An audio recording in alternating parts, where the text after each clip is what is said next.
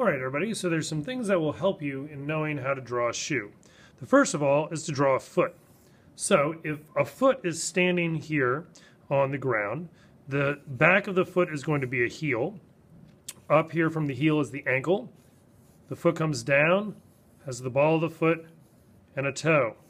And then the leg comes out of there.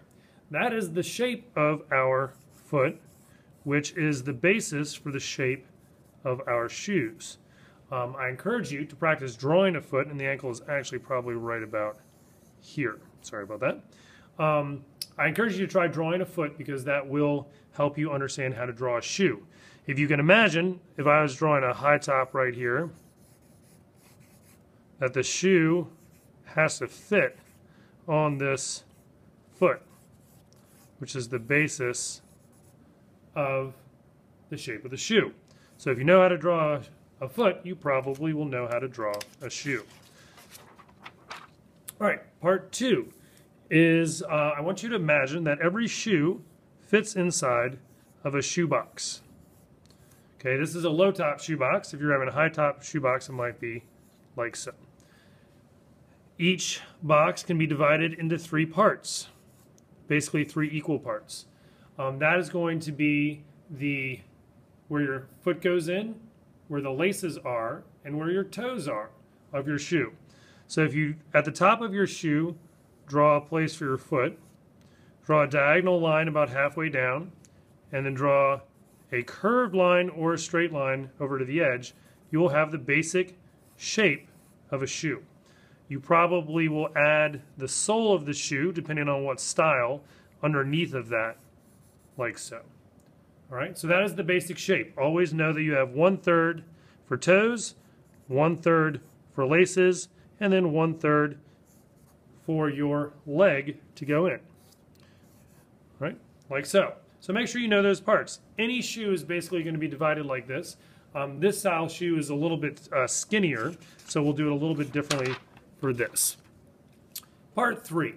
So I want you all to make sure that you get um, a good chance to use your sight measuring. Remember, sight measuring is using your pencil to figure out the angles, okay?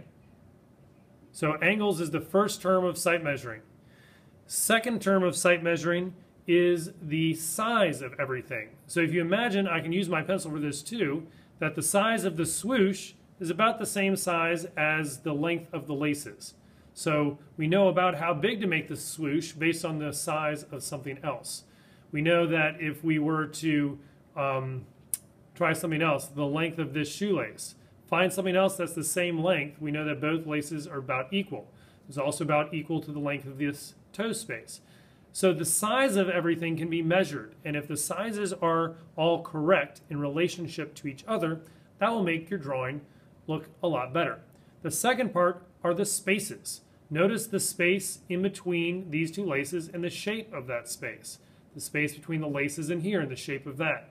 The space here, the space that is on the outside of the swoosh or above the swoosh. Notice that this space between the bottom of the swoosh and where the black starts is smaller than the space between here and here. So notice the angles and measure those. Notice the size of everything and measure those and figure it out. And notice the spaces of those things. If you have those three things, angles,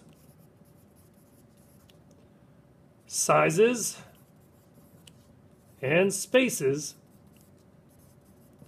then your drawing will be much better. You'll grade yourself one through five for each one for your drawing. Do that for your do now, see how you did without using sight measuring, and then do it with your final project.